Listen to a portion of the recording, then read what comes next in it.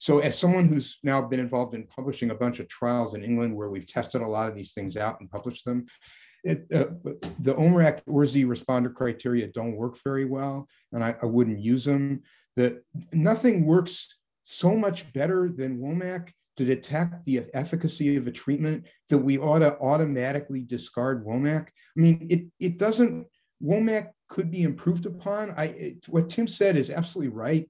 And I, I, I'd like to hear Dan Clauw's view of the sort of the stuff that Tuhina talked about earlier, which is, do we use something like WOMAC for a long-term trial, or is there some kind of shift that occurs in pain reporting over time that makes that insensitive, in which case we have to come up with other measures for long-term trials. But there are alternative short-term trial pain measures. Some of them are activity-induced pain measures. Some of them are uh, patient priority measures. So what hurts you the most, okay, is a really good question. Turns out to be very sensitive to change. If you then have a person uh, grade it, it, it worked better in our trials than the WOMAC did. Um, so, and those were trials of po positive trials of treatments that were efficacious compared to placebo, which is important.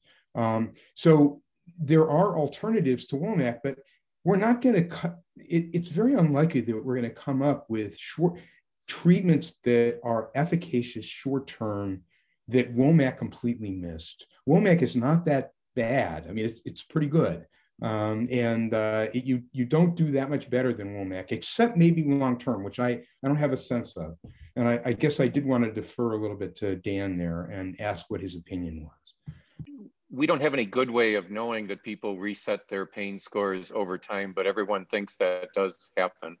And so I think that is the longer the trial, the the harder it is for me to see that you know, any kind of pain measure is going to be a valid measure at, you know, three to five years after an intervention. And, and so I do think that the measures that incorporate pain interference, you know, the WOMAC, I would call um, the, the WOMAC functional uh, scale is really what we would call a pain interference measure now.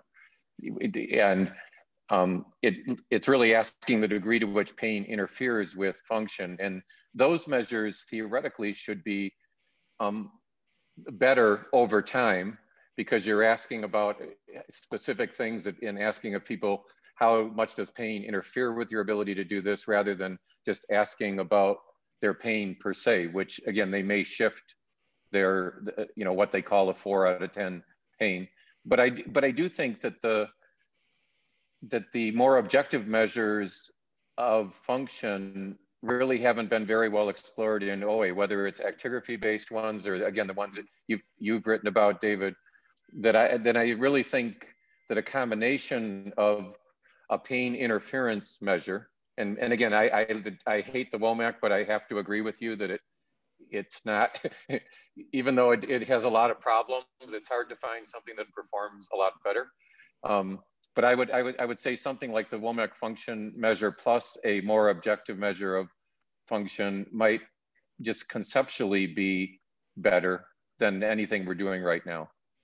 The WOMAC was designed to test efficacy of NSAIDs in six to 12 week trials, and it does that exceptionally well. Um, but we're doing meta-analyses as we have across the landscape of osteoarthropy, uh, OA therapies, we're struck in looking at the WOMAC when you look at one or two year trials that the pain trajectories of the treated and placebo groups um, almost always converge.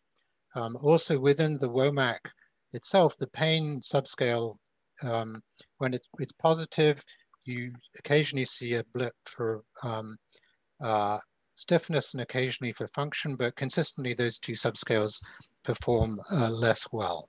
So um, the um, you, you, know the the the, the WOMAC is also uh, uh, it, it, the, the, yeah the comment that it, there's nothing better actually uh, numeric rating scales asked daily and average over the week perform better than the WOMAC even in the short-term trials so there there are better instruments I mean it's uh, I, I I think uh, um, you, you know, you're right. We we don't have something that's obviously better right now, but that doesn't mean we shouldn't strive to, to improve upon what seems to be a flawed instrument in the context of longer term studies, and that's relevant to disease modification.